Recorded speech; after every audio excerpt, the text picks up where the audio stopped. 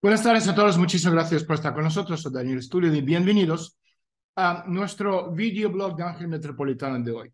No puede haber un agravamiento serio en las relaciones entre Estados Unidos y Rusia, ya que la clase política rusa está completamente controlada por el imperio estadounidense. Por eso, viendo las noticias de los medios de comunicación, pensé, bueno, pensé que era obvio, pero obviamente no es obvio, así que deberíamos aclarar de cómo y por qué. Hablar de levantarse de las rodillas no es más que retórica ordenada por el Departamento de Estado de Estados Unidos. O sea, Washington necesita esta retórica para intimidar en primer lugar a los europeos, también a cierta medida los japoneses, los surcoreanos, principalmente a través de esas especulaciones sobre el factor nuclear ruso.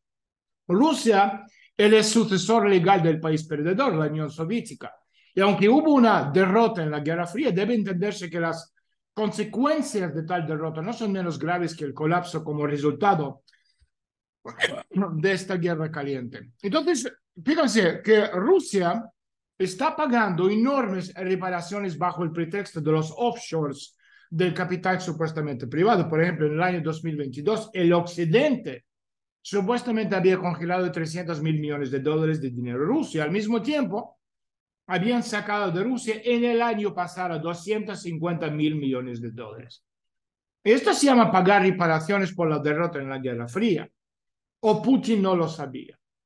Imagínense lo que tendríamos que pagar Rusia si perdemos la guerra de ahora contra el occidente colectivo. Y este solo hecho es suficiente para entender que la Federación Rusa es el mismo satélite de los Estados Unidos que la Alemania de la posguerra. Es la similitud de estos estatus geopolíticos lo que acerca a las élites de Berlín y Moscú. En cuanto a las amenazas declarativas en relación con el comportamiento de los rusos en Ucrania, bueno, eso tiene varios objetivos. Primero, estas declaraciones subrayan y agudizan la atención de todo el mundo sobre el comportamiento de los rusos, a quienes se acusa de muchos civiles asesinados y mutilados. Estados Unidos utiliza referencias a la barbarie objetiva para tener su propia superioridad humanitaria. Y el segundo resultado que busca Estados Unidos con sus amenazas es el ocultamiento actual del tándem real del gobierno, de los gobiernos estadounidense y ruso. Y es muy importante que Estados Unidos mantenga, al menos en cierta medida, el régimen de esta bipolaridad del conflicto para gestionar mejor tanto a sus partidarios como a sus opositores. Y en tercer lugar, Estados Unidos deja en claro o deja escapar su capacidad para manejar el proceso terrorista. Porque para los tecnólogos políticos estadounidenses es absolutamente imperativo que la opinión pública mundial considere al Islam político como una producción de los servicios de inteligencia estadounidenses y los musulmanes que participan en la lucha contra el occidente son mercenarios cínicos o idiotas que son utilizados en la oscuridad sin su conocimiento. Y por lo tanto, estas advertencias escandalosas dirigidas al Kremlin son un movimiento multipropósito calculado que muy probablemente fue acordado de antemano entre los socios. Así que los políticos de Moscú no mienten cuando insisten una y otra vez en referirse a los americanos como nuestros socios.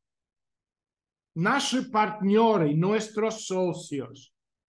A pesar del curso extenso de los acontecimientos. Y los observadores creen que se trata de un exceso de correcteza política o de una ilusión por parte de, del gobierno ruso. De hecho, esto es cierto. Los estadounidenses son realmente socios o sea, hermanos mayores, empleadores y todos los demás en la misma fila. Y uno puede recordar uh, el periodo reciente cuando Moscú habló abiertamente sobre ofrecer a Occidente servicios de energía para controlar el extremismo, el islamismo y otros ismos de amenazas. Y sin ir más lejos, a pesar de tantas amenazas, hostilidades abiertas por parte de este Occidente colectivo, tantos muertos nuestros, sobre todo civiles, nosotros seguimos sin tapujos venderles nuestro gas, petróleo, aluminio, litio, oro, plata, uranio, nuestros socios. Os recuerdo que en Roma el dinero no tiene olor. Soy Daniel Stulin, cabreado. Gracias por estar con nosotros. En nombre de Ángel Metropolitano, hasta la semana próxima. Adiós.